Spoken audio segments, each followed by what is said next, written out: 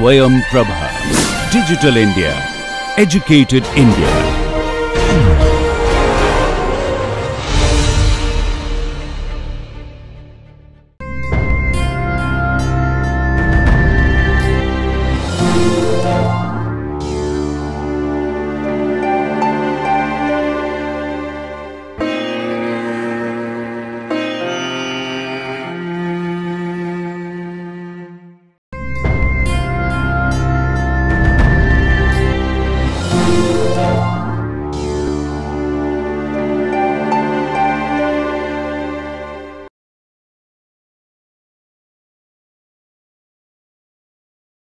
Now, let us take the next example.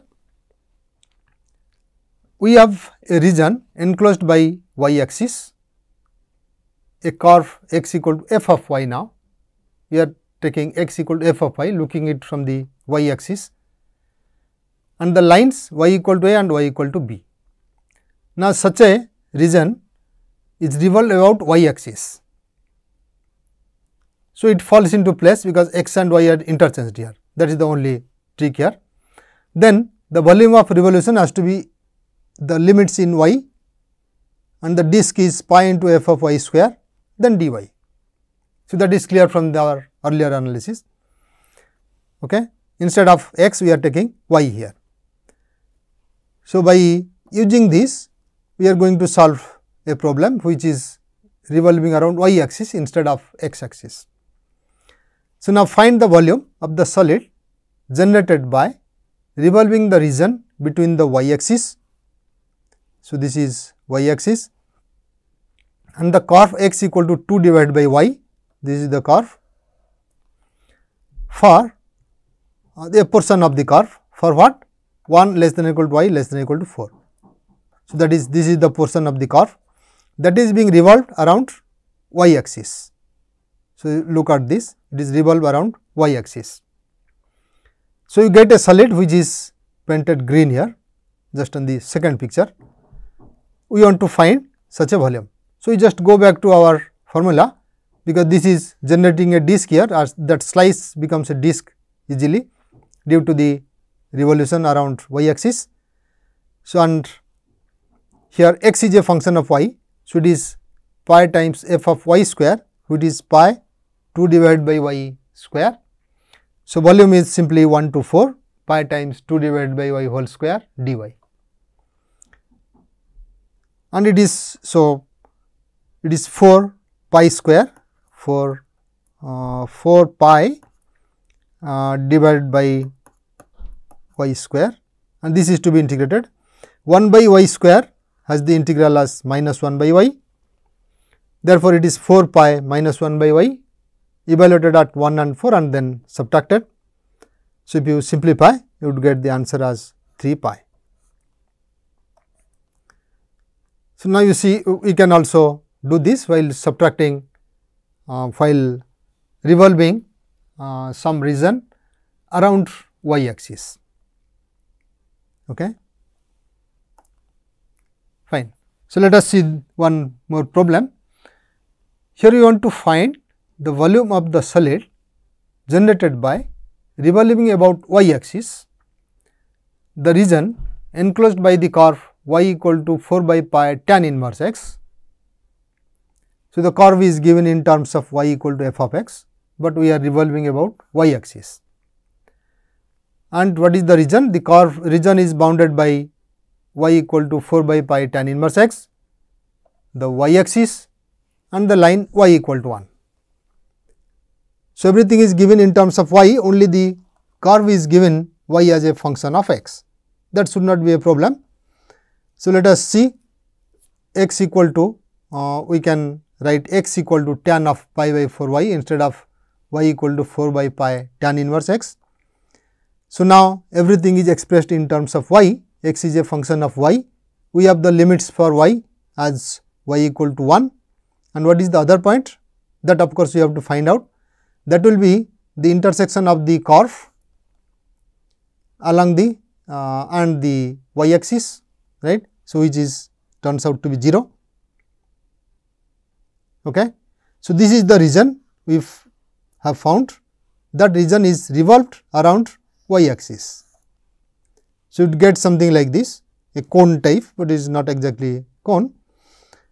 So, the curve is x equal to tan pi y by 4 and the volume should be equal to 0 to 1 pi. So, it is pi f of y square dy and then to be integrated from the limits for y. So, it is integral 0 to 1 on the y axis pi tan square pi y by 4 dy fine and that we have to evaluate now. To evaluate what we do it is tan square pi y by 4. So, we substitute pi y by 4 equal to say u then dy becomes pi by 4 dy and when y equal to 0 we get u equal to uh, 1 right. When y equal to 0 u is also equal to 0 not 1 right u equal to 0 and when y equal to 1 we get pi divided by 4 this one is correct fine. So, our volume will be equal to integral 0 to in terms of u integral 0 to uh, pi by 4 and then it is pi times uh, pi times dy. So, dy becomes 4 uh, du right pi was already there. So, it have 4 du and this is tan square u. Okay. So, our volume is 0 to pi by 4 4 times tan square u du which is 4 times secant square u minus 1 times du. We just rewrite it tan square u as secant square u minus 1 because we know the integral of secant square will be tan that gives you tan u for secant square u and 1 becomes u right and 0 to pi by 4. So, you have a 4 here that constant and that when simplified gives you 4 minus pi fine. So, sometimes the curve might be given as y equal to f of x, but if you can find it out that x in terms of y then that simplifies to uh, obtain the volume. Okay. So, let us take the next problem. Uh, find the volume of the solid generated by revolving about the y axis, the region bounded by the lines x equal to 0, y equal to 1 and the curve x equal to square root of 2 y divided by y square plus 1. So, here the limits of y are not given explicitly here, we may have to find out but it is written x equal to 0 that is the y axis right and it is revolve around y axis. So, that falls into place we have y equal to 1 and we need the other limit fine. So, if you plot it looks something like this that x equal to square root of 2 y divided by y square plus 1 gives this curve and then it has to be revolved about y axis. First the region so, the region is bounded by line x equal to 0 which is the y axis, y equal to 1. So, which is the top one here this line and the curve. So, that gives nicely the region and this region is revolved uh, around uh, y axis fine. So, when it is y axis it will be our earlier one that integral a to b pi f of y square dy. So, that is pi x square really. So, then what are the limits? We have limit as x uh, for y on the top we have already 1 and the down we see that the intersection of this curve with y axis if you take the y axis and the intersection both are same. So, you would get y equal to 0. Therefore, the lower limit for y is 0. Then the volume is expressed at 0 to 1 pi times square root of 2 y divided by y square plus 1 whole square dy and it is a matter of computing the integral now. So, how do we compute the integral? It is square root of 2 y divided by y square plus 1. So, y square plus 1 is creating problem on the numerator uh, denominator. Okay. So, what do we do? We substitute u equal to y square plus 1. So, once we substitute you get du equal to 2 y dy and let us find the limits when y equal to 0 uh, y equal to 0 u equal to 1 and when y equal to 1 u equal to 2 that is right.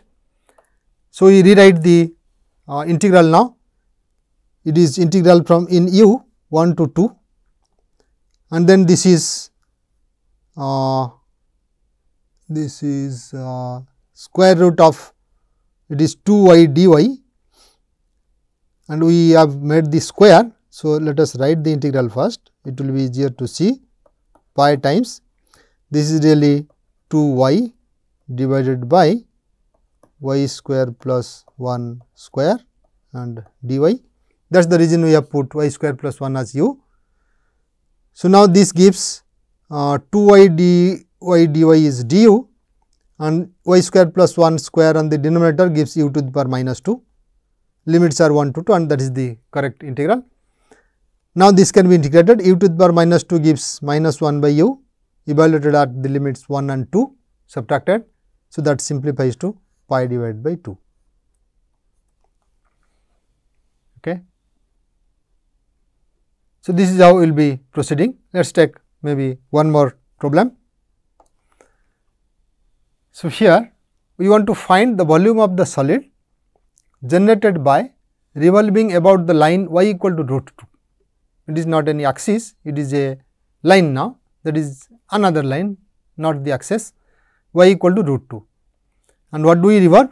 The region in the first quadrant bounded above by the line y equal to root 2 that same line. So, it is really touching that uh, that line the axis of revolution is really one of the boundaries and below by the curve y equal to y equal to secant x into tan x right and on the left by the y axis. So, how does it look? We have the region this is y equal to we have the region as in the first quadrant bounded above by the line y equal to root 2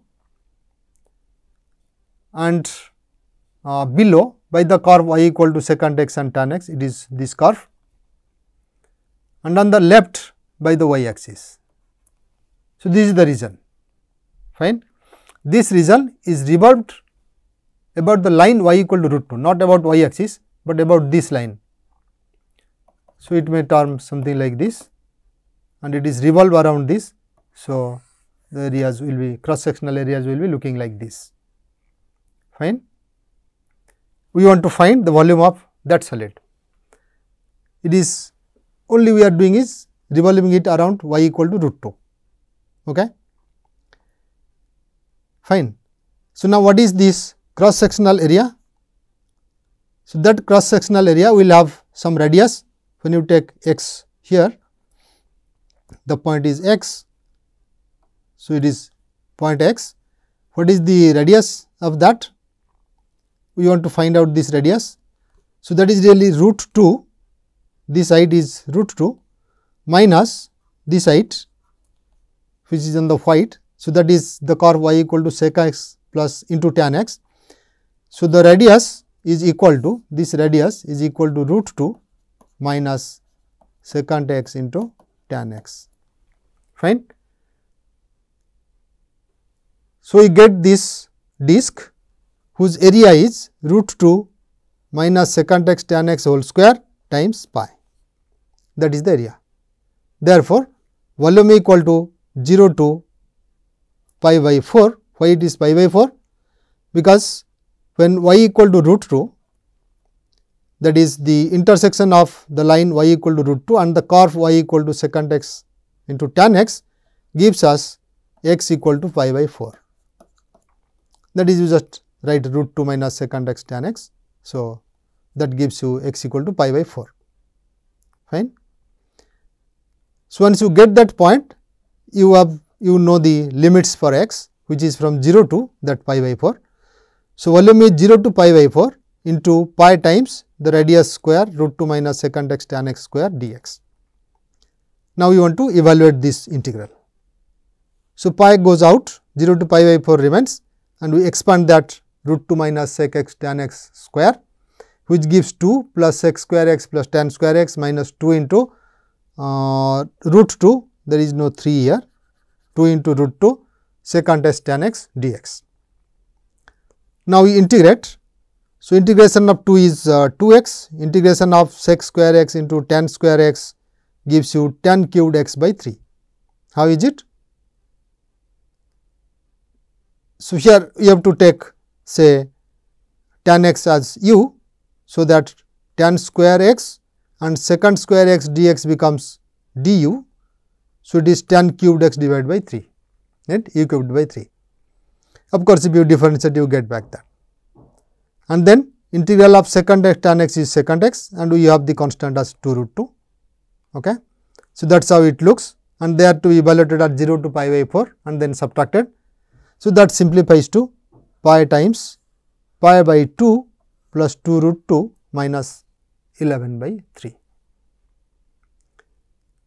So, you see it is pretty straightforward though it is called disk method always you have to think of the slice method, but only thing is that the cross sectional area becomes a disk that is why the name.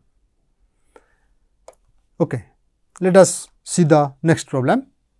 Here we want to find the volume of the solid generated by revolving the region between the parabola x equal to y square plus 1.